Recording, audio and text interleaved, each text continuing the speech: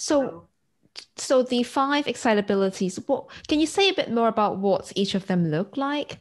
So, for example, the psychomotor one might be someone. I mean, they all have a million ways of expressing themselves, but let's just go with some stereotypical ways. Okay. Yeah, a psychomotor is, uh, you know, just a lots of energy of yeah physical energy yeah can't sit still um i've, I've talked to someone who's studying it. it. it does overlap a lot with what is now being called adhd mm. though i don't think i have that. And i how do you define these things right? The, the definitions are slipping around. But yeah that you can't sit still uh, and a lot of energy. Yeah. Um and, and or you can sit still but you need to do sports like you're driven to do mm. movement.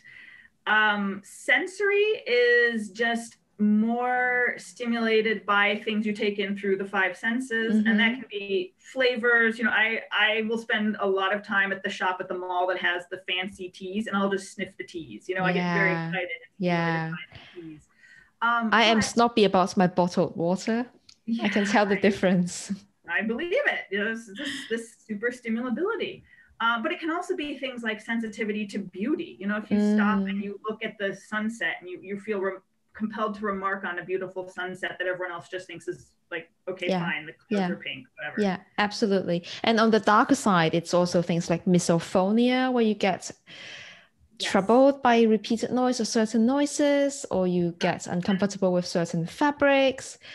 Speaking of smell, like I can't stand strong perfume, it always gives me a migraine. Oh yeah, mm. I sympathize with that. I don't have that, but I do have the misophonia, so mm, that's yeah, just terrible. And I feel bad about it. My husband knows I have it, and so he's like, "Can I eat an apple?" I'm like, "It's fine, it's fine. I don't want you to have to tiptoe around me." But he's. It requires negotiation. Yes. It's just like um, any personal differences. Yeah. Yeah, yeah, and to to realize like there's nothing personal. It's just like a weird wiring in my brain. Mm, so, mm. um, and so okay, so those are the two the more physiologically obvious ones, and then the ones that are in the head, right? Um, the intellectual is drive for knowledge, concern about truth with a capital T. Yeah. Um, Also the the thinking about thinking, metacognition, mm. that kind of thing. Um, Curiosity about most things. Yes, wide range of interests. Exactly. That's that's intellectual overexcitability. Um, I would think it also relates to people being multi-potentialites. Yes, absolutely. I mm. think that's a, I think that's a big part of it. Another big word, the listeners, it refers to people who have multiple passion. They don't just do one thing, and we live in a world where specialization is encouraged. So that can make it really difficult for people. That was a big challenge for me too. You know, mm. um, so yes, absolutely, multi-potentiality, having pain over the having to pick a career path, right, yeah. and all the lost opportunities when you have to focus on one thing. Um, and then you come to the emotional, which is like what we were talking about.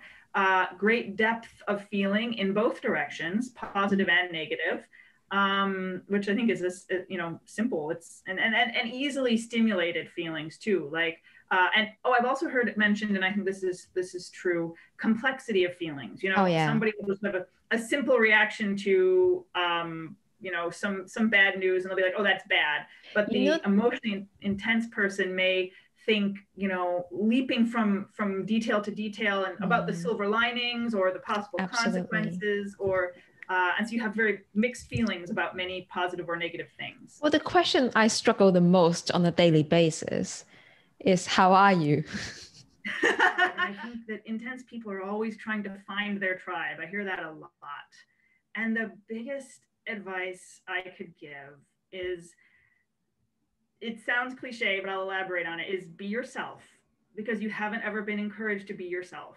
And for a sensitive person, uh, like for me, I'll just speak for me, but I think other people will relate. You may have been rejected before for the big feelings, the intellectual curiosity that is tedious to other people. Um, you know that that you've been rejected, and so I internalized that, oh, someone didn't like me. I better hide that part of myself. But then I didn't have very fulfilling friendships because I was always hiding the active part of myself. And the thing is, the people I wanted to find, they were all hiding that too. And so you have to show it, or you won't find other people like you.